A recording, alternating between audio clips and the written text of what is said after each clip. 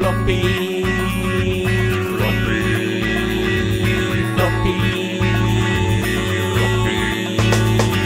We wrote this little ditty for our floppy cat, and it's sung by a knob. and it's played by a twat. We used the fluid Axis through the SRI, and for all of the tracks, the quality's high. Sam played guitar, and I played the keys, and drums we fudged together piece by piece using these. But sadly it's crap because it's written by punks, so it's a brand new genre called Catastrophe. Floppy.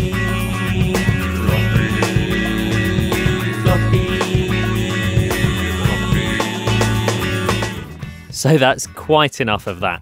But we wanted to see if we could produce a track using nothing more than a single Fluid Audio Axis microphone, the SRI2 USB audio interface, the FX80 near field coaxial monitors we reviewed back in January, and the company's Focus headphones. And for a super budget setup, we were quite surprised at just how good they can sound. And with much of the world hitting on tough times, this could be a great entry level option for anyone looking to get into recording at home.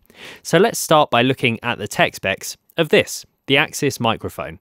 And it's worth noting that every bit of audio you're hearing in this video has been recorded with this very mic, using the SRI2 interface and monitored on the FX80s and Focus headphones for mixing.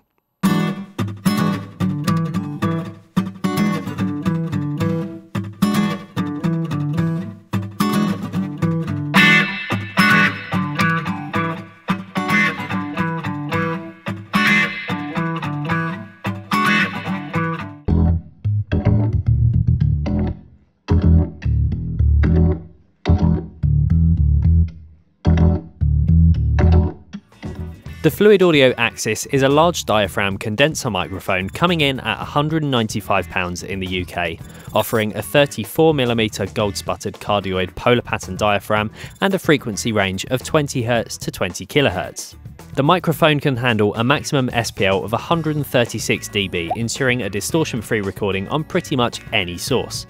Discrete Class A FET electronics feature a transformer coupled output, providing low noise operation, and the physical microphone is well built and feels high quality, and is accompanied in the case box by a shock mount, pop filter, and a great quality braided cable. The Focus headphones offer a 20Hz to 20 kHz frequency response, and their 50mm neodymium drivers offer good quality audio at all volume levels.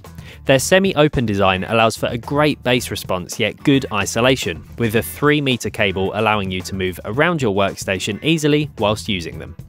The headphones come in at just £50, so a great deal, and they sound pretty good indeed for the money. The SRI2 interface is a great bit of kit and the best of the bunch for us.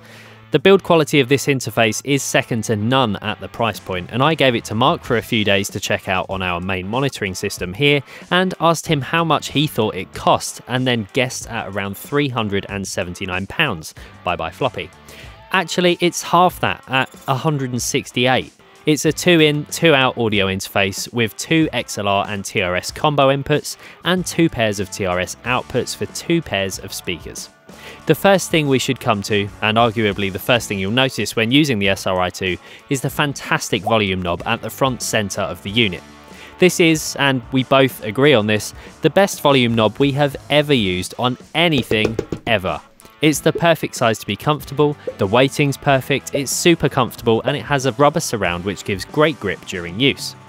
The rest of the controls, the knobs and buttons, are all very solid and feel high quality, and we love the little lights on the gain knobs that indicate their position. The faceplate and main body of the SRI2 is metal, and the general build quality is very high. It feels like it would survive many years' use within a studio environment. In terms of conversion quality, we both think it sounds ever so slightly on the creamy side of neutral in a very good way, and we really love this interface. Highly recommended.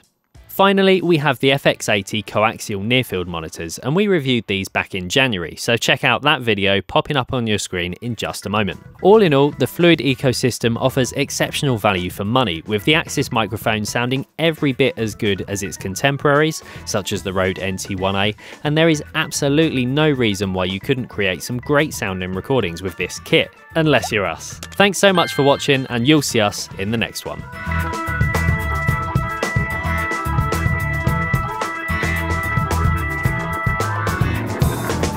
You.